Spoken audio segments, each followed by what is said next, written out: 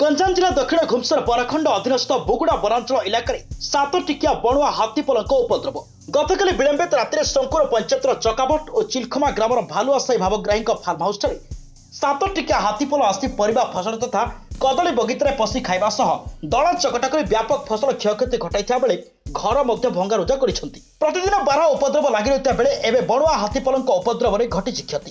ବର୍ତ୍ତମାନ ବୁଗୁଡ଼ା ବନାଞ୍ଚଳ କର୍ମଚାରୀମାନେ ଚାଷୀଙ୍କ ପାଖରେ ପହଞ୍ଚି କ୍ଷୟକ୍ଷତିର ଆକଳନ କରିବା ସହ ହାତୀପଲଙ୍କ ଗତିବିଧି ଉପରେ ନଜର ରଖିଛନ୍ତି।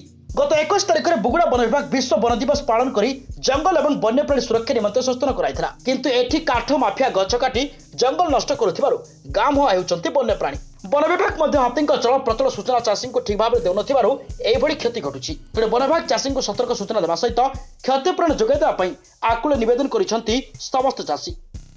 ଆଜ୍ଞା ଆପଣ ପରିଚୟ? Bhabagrahi Mohanty farm house. କ'ଣ କହିବେ ଗତ ରାତିରେ କେତେଟା ହାତୀ ଆସିଥିଲେ କ'ଣ କ୍ଷତି କରୁଛନ୍ତି?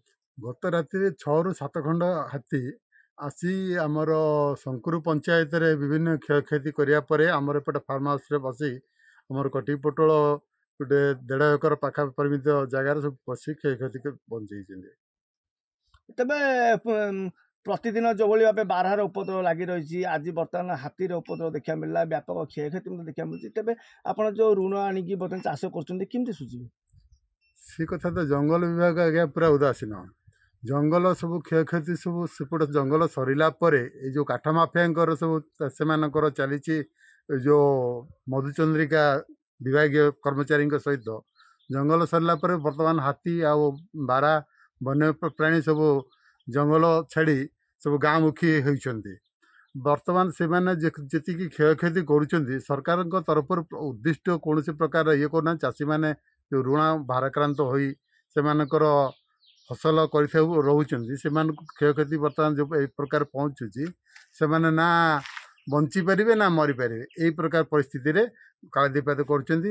ଏଣୁକରି ସରକାରଙ୍କୁ ବିନୀତ ଅନୁରୋଧ ଯେଉଁମାନଙ୍କ ପ୍ରତି କ୍ଷୟକ୍ଷତି ହୋଇଛି ସେମାନଙ୍କ ପ୍ରତି ଟିକେ ଉଦାସୀନ ମନୋଭାବ ନ ଗ୍ରହଣ କରି ସରକାରୀ କର୍ମଚାରୀଙ୍କୁ ପଠାଇ ପ୍ରତ୍ୟକ୍ଷ ଭାବରେ ଆ, ସେମାନଙ୍କୁ କ୍ଷୟକ୍ଷତି ପହଞ୍ଚିଲେ କଲେ ଲୋକମାନେ ଉପକୃତ ହୋଇପାରିବେ। ଆଚ୍ଛା କିଛି ବନାଞ୍ଚଳର ଲୋକେ ଏପର୍ଯ୍ୟନ୍ତ ଆପଣଙ୍କ ପାଖରେ ପହଞ୍ଚିଲେଣି କି?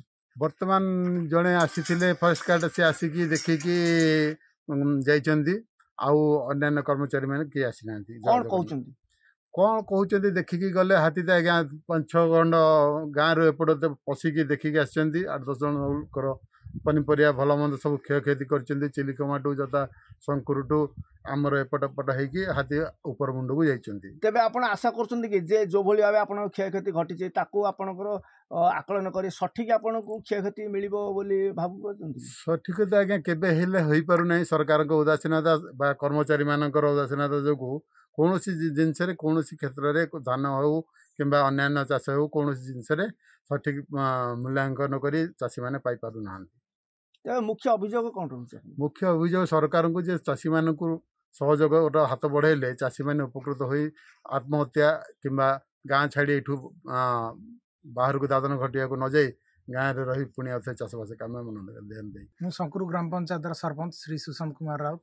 ଆମ ପଞ୍ଚାୟତରେ ଆମର ଚିଲିକା ଗ୍ରାମର ଭାଲୁଆ ସାହି ସେଇଠି କ୍ଷତି ହେଇଛି ଆମର କଦଳୀ କ୍ଷତି କରିଛନ୍ତି ବିନ୍ସି ଏବଂ ଟମାଟୋ ଏବଂ ଆମର ପାଖାପାଖି ଆମର ମହାନ୍ତି ଫାର୍ମ ହାଉସ୍ ସେଠାରେ ତୋରଡ଼ା ଆମର କଟିକି ପୋଟଳ ଆଉ ଅନ୍ୟାନ୍ୟ ଯେଉଁ ଚାଷ ଉପଦ୍ରବ ସବୁ କ୍ଷୟକ୍ଷତି ହୋଇଛି। ସହଦେବ ଜେନାଙ୍କର ଏବଂ ଆମର ନିକଟରେ ଚକାବଟ ପାଖାପାଖି ସେ ଜଣେ ଭଲ ଚାଷୀ ସହାଦେବ ଜେନା ତାଙ୍କର ଲଙ୍କା ଆଉ ଛତୁ ଫାର୍ମ ଆଉ ଅନ୍ୟାନ୍ୟ ଜିନିଷପତ୍ର ସବୁ କ୍ଷୟକ୍ଷତି ଆଉ ହେଇଛି। କାଲି ସେମିତି କିଛି ସୂଚନା ନଥିଲା ଯେଉଁଥିପାଇଁ ଚାଷୀମାନେ ଜାଣିପାରିଲେ ନାହିଁ ଏବଂ କ୍ଷୟକ୍ଷତିର ସମ୍ମୁଖୀନ ହେଲେ।